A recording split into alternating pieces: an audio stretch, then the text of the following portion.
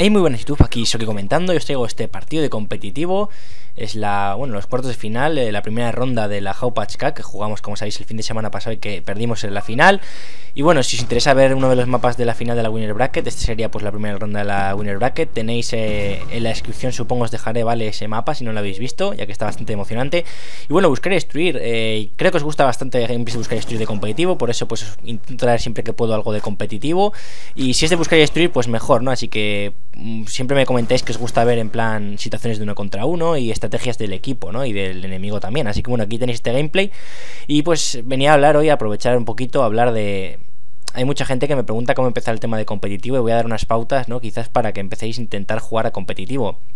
En primer lugar, decir que no sé si lo dije el otro día, pero el club grabó un tomar la bandera de la final en live, de la final de la Loser Bracket, una de las finales que jugamos en live contra este mismo clan, contra Avengers, así que no sé si lo podré coger por ahí y traerlo al canal. Será igual que la otra vez, ¿vale? Es decir, no solo estará mi cámara, sino que estará en la cámara de todos los compañeros, al igual que hice con el otro BID, este también he dejado todas las rondas enteras, solo he cortado el entreacto, ¿vale? Para que eh, pues al ser un torneo algo importantillo y son retos de algo de nivel, pues para que veáis también cómo juegan los compañeros y todo eso, ya que tampoco es que sea demasiado largo, ya que creo que acabamos ganando por 6 o algo así, ¿no? Y bueno, también a nivel, como digo, particular es una partida bastante buena, creo que es un 9-4, no está nada mal. Y veréis que fundamentalmente en este gameplay utilizo la MSMC para rusear, alguna vez me pongo la M8, pero muy poco. Y bueno, yo en este mapa siempre intento ir hacia B, como veis eh, tira mucha mierda ahí en, la, en esta zona, así que lo mejor es intentar esconder hasta que suelten todo y luego ya pues poder avanzar, ¿no? Y defender pues básicamente es lo mismo, intentar aguantar este mapa, la verdad es que con las reglas de deserto es bastante más jugable, porque sabéis que se puede poner el sistema trophy, te puedes poner el chaleco, te puedes poner la máscara táctica, entonces no te obliga a hacer esas cosas, ¿no? Eh, puedes ir un poquito más a saco y a mí es lo que por lo menos me gusta, entonces eh, no sé si, como os dije, acabarán poniendo las normas eh, al final de la Final Cup. Yo creo que sí, van a poner las normas de deserto. Lo que sí han hecho ya es para la Final Cup poner el DSR, el francotirador, y pues por ejemplo para este mapa quizás no es que sea súper útil, sí que hay algún sitio en B que puede ser bastante útil, pero mapas como por ejemplo Wraith, pues es un arma que es muy muy útil para despejar zonas, despejar glitch, y que yo pues particularmente me gusta mucho utilizar el DSR y que seguramente si lo pueden o si lo dejan ponerlo me lo voy a poner, evidentemente. Sobre todo para buscar, es que más que nada es para buscar destruir, no tiene ninguna otra utilidad, en tomar la bandera no te vas a poner con un DSR, y en punto caliente menos todavía, ¿no? Ya que es un modo todavía más a saco. Y bueno, voy a empezar a hablar un poquito de eso. Bueno, aparte sabéis que seguramente mañana grabe el, la dual con Sdow, ¿vale? Con uno de los jugadores de competitivo con más experiencia a nivel internacional. Así que bueno, eh, también pues como os dije un poquito para que conozcáis su canal, ya que pues trae gameplays de competitivo de un nivel mayor al mío y pues es un gran jugador aparte.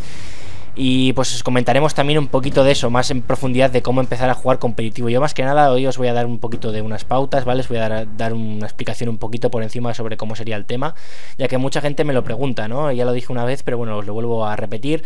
Eh, si no queréis tomarlo de manera seria y queréis empezar a introduciros un poquito en esto del competitivo, lo mejor es que juguéis modo liga, ¿vale? Y no es recomendable que lo hagáis solos. Tenéis que intentar reunir por lo menos tres personas más, ¿vale? Es decir, intentar ser cuatro y jugar ahí en liga, o como mínimo tres, ¿vale? Pero es que siempre tenéis que intentar jugar en equipo. El competitivo fundamentalmente se trata, aparte del nivel individual, en la compenetración con tu equipo. Y si empecéis a jugar solos competitivo, pues sí que os podéis adaptar a, diferentes cosas, os podéis adaptar a, diferentes modos, mapas, cómo juega la gente y todo eso, pero no es lo mismo, porque luego si por lo que se encontréis un equipo o, convences a, convencéis a vuestros amigos para que jueguen competitivo, tú vas a estar mucho más adelantado que ellos y te vas a tener que retrasar a su nivel y vas a tener un tiempo perdido, por así decirlo. Lo mejor es que intentes a practicar cuanto antes como equipo. Y si por lo que busquéis entrar en algún club o en alguna squad, lo que tenéis que hacer es eh, también intentar jugarlo con algún equipo, aunque sea de pick-up, ¿vale? Aunque sea que no sean vuestros amigos, sino que intentar mejorar a vuestra bola un poquito. Y luego, pues, eh, intentar hacer las pruebas en algún equipo o intentar contactar con algún club para que, pues eso, os hagan las pruebas y podáis intentar entrar, ¿no? Entonces, bueno, eh, yo ya os digo, lo recomiendo es que juguéis modo liga, es lo más parecido a, las normas del VP que hay ahora y a las normas de Deserto, serían las normas de MLG, del COCE XP, y pues si conseguís entrar en una liga bastante alta, que es lo que me preguntaba alguien en el vídeo de ayer, pues incluso podéis encontraros con algunos jugadores de Giants o bueno, X-Pain o algún jugador de, de Impact, bueno, de Farico Impact. Entonces, bueno, que saber eso, ¿no? Que también ese tipo de jugadores juegan ese modo, a esos modos de juego, a modo liga, y que ellos están en divisiones muy altas, que quizás por eso no los encontráis porque están en una división de maestros, si no me equivoco, bastante alta. Entonces, bueno, si sois afortunados, pues podéis coincidir con ellos. Yo ahora mismo, en modo liga, rango individual no tengo, solo tengo rango como equipo. Y es que además, eh, jugar modo liga como equipo te implica que si cambias de un solo jugador, tienes que crearte un nuevo equipo. Entonces es un poco movida, ¿no? Ahora yo creo que voy a empezar a jugar modo liga de manera individual, a sacarme un rango bastante majo, a ver si puedo llegar a maestro yo solo. Pero es una cosa bastante complicada porque depende mucho de qué compañeros te toque. Si toca contra un equipo organizado, pues evidentemente vas a perder. Por muy bueno que seas, vas a perder. Y no tienes nada que hacer, ¿no? A no ser que, vamos, que el otro equipo tampoco es que sea muy bueno, que tampoco es que sea súper organizado. Bueno, voy a explicar esta situación, ¿vale? Un poquito por encima, cosa que no suelo hacer, dos contra uno. Veis cómo consigo, estoy defendiendo, consigo matar a uno y estamos en situación ahora mismo de uno para uno. Lo mejor que podéis hacer es si matéis a una persona, intentar esconderos, intentar hacer tiempo, ¿vale? Estáis defendiendo. Y en este caso yo pensaba, ¿vale? Que como había matado a una persona en A, él se pensaría que yo estaba en A. Entonces yo me vengo a B, ¿no? Cerca de B, más o menos entre medias de las dos bombas por si acaso. Y me quedo aquí esperando a que salga, ¿no? Eh, hacerle un poquito de tiempo y si coloca en B, pues tengo la facilidad para salir y matarle. Como queda poco tiempo y seguramente podría estar colocando, pues me asomo un poco a la, bomba de B y veo que no está. Entonces seguidamente voy corriendo a la bomba de A, ¿vale? A ver si está. Y casualidad, pues justo cuando giro esta esquina, le veo plantar y se va, ¿vale? Entonces, en vez de ir a por él, ya que tendría que correr bastante detrás de él ya que se habría ido corriendo, pues cojo y me la juego y hago un ninja y me sale bastante bien. Es decir, eh, le quito la bomba sin matarle, sin que se dé cuenta. Entonces, es una cosa, el ninja, que podéis aprovechar de hacerlo pues en estas situaciones, en que veis al tío que se escapa, o estáis en inferioridad numérica y veis que no os han visto, ¿vale? Porque no, no tenéis que matar siempre al tío para desactivar la bomba, ¿vale? O a, los que haya vivos. Podéis jugar live y podéis intentar desactivar la bomba como lo he hecho yo en este caso. Y si os sale bien, pues mira, yo creo que el otro día también hice un ninja contra tres personas. Es decir, había tres enemigos vivos y de mi equipo también estábamos tres vivos. No sé, me la jugué, me puse a desactivar y desactivé, ¿no? Eh, es una cosa que a veces puede quedar o puede parecer como muy troll o puede parecer una falta de respeto, pero ¿qué va? O sea, un ninja es pues ganar una ronda sin más. O sea, si no se dan cuenta, pues bien por ti, ¿no? Ahí veis qué mala suerte, justo Coco y yo solemos estar bastante organizados en esta parte de la derecha de B y solemos intentar entrar los dos eh, más o menos a la vez y más o menos apuntando uno a cada sitio. De la casualidad que ahí justo nos pilla el tío en línea cuando nos estábamos moviendo, así que mala suerte. Y bueno, como os he dicho antes, os estoy dejando las cámaras de los compañeros para que veáis cómo también se mueven, por, donde, por qué zonas también podéis ir.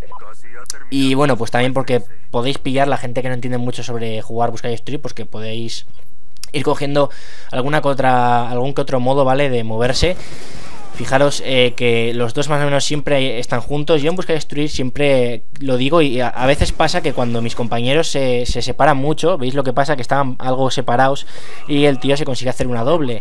Estaban juntos, pero no muy juntos y estaban, en mi opinión, bastante separados. Entonces yo lo que siempre recomiendo cuando estéis eh, dos para uno eh, tanto defendiendo como atacando, es que estéis los dos juntos. Por ejemplo, defendiendo, la gente tiene mucha costumbre de irse uno a cada bomba y esperar al otro, ¿no? Pero evidentemente, en uno contra uno todo puede pasar y te puede ganar. Entonces, dos contra uno es muy difícil de que te gane. Yo siempre soy partidario de ir junto con un compañero, o sea, dos personas siempre a un sitio, porque si vas tú solo, puedes llevarte a uno, pero te pueden matar. Y al final, mira, ahí me rafaguea Coco sin querer, porque había rafagueado a uno del medio, me da a mí de refilón, me deja mínimamente tocado y consigo hacerme una doble Fijaos, la, bueno, la cámara de muerte no se ve porque hay un pequeño corte de la capturadora. Bueno, eso es cuando me toca así, me giro para matar y ese no se ve por el corte de la capturadora.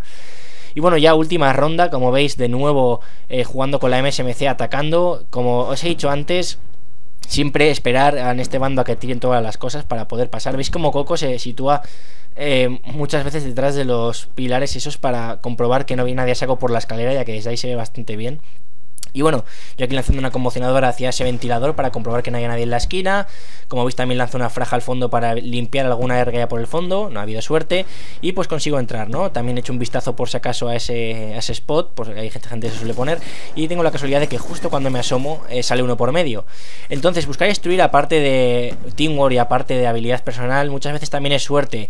Eh, si os fijáis, muchas veces eh, veis partidos de comentados y tal, pues veréis que alguna que otra vez ponen en la vista el modo cenital ese que, pues ves toda la cámara aérea y ves las flechitas, ¿no? Cómo se mueven. Y muchas veces ves cosas muy graciosas de que justo te mueves tú, se mueve el otro. Es bastante gracioso, ¿no? Y muchas veces, pues como os digo, buscáis estudios bastante suerte. Así que bueno, ahí eh, Trigo o Bocis, como queráis llamarlo, consigue acabar con el último que le había dejado tocado Coco, si no me equivoco, había colocado la bomba y la había dejado tocado. Así que bueno, chavales, sin más, eh, espero que os haya gustado este gameplay. Como os digo, intentaré que el próximo sea en live, ¿vale? A ver si puedo coger el gameplay del, del club. Y sin más, un saludo, espero que os haya gustado este gameplay. Si os ha gustado, como siempre, dejadme me gusta, favoritos y suscribirse para más. Adiós.